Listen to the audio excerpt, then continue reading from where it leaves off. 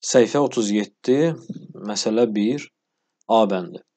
Aygün günün ev kitabxanasında 324 kitab, hər birində 12 kitab olmaqla rəflərə yığılmışdır. Aygün günün kitabxanasında kitablar neçə rəfə yığılmışdır? Məsələdə rəf sayı məchuldur. Ona görə bunu biz x adlandırırıq.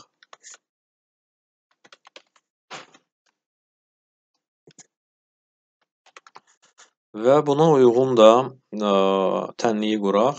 324 kitab bölünür bir rəfdəki kitabların sayına, yəni 12-yə və nəticədə alınır rəf sayı, yəni x. x bərabərdir 27 ədəd rəf var. Deməli, kitablar 27 ədəd rəfdə olmaqla, hər rəfdə də 8 kitab olmaqla deməli rəflərə yığılmışdır.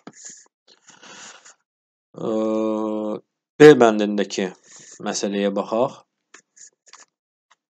Həsən bir dəstədəki 28 və digər dəstədəki 36 pomidor şitilini hər birində 8 şitil olmaqla cərgələrə əkdi. Neçə cərgə şitili əkildi?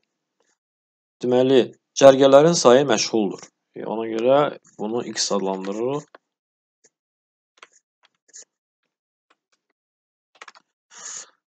Və tənliyi buna uyğun quraq. Deməli, ümumi pomidor sayı 28 üstəgəl 36 ədəddir.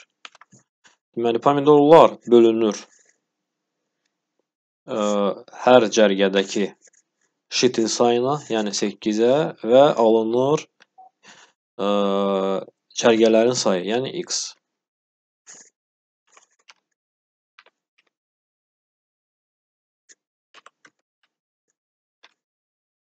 Cəmi 8 ədəd cərgədə, hər cərgədə 8 şitil olmaqla pomidor əkilmiş.